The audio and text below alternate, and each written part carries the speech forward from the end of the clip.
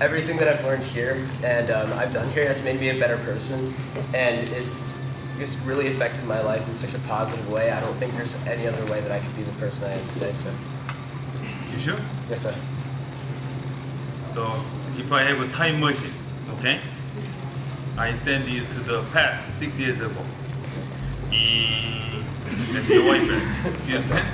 So now you have a different choice. Okay, whether you can do soccer, baseball, football, or whatever. Okay, Yes, but you don't do the martial art six years ago. Now, would you take that path? Not doing the martial art, something else. Do you think now? You could go back. Yes, sir. You don't? You sure? Yes, sir. Is nothing that's not uh, reflect your test of affect your test result. Honest. you do? Why? because um, everything, like I said, everything that I've done here has really affected my life in a positive way. It's made me a better person.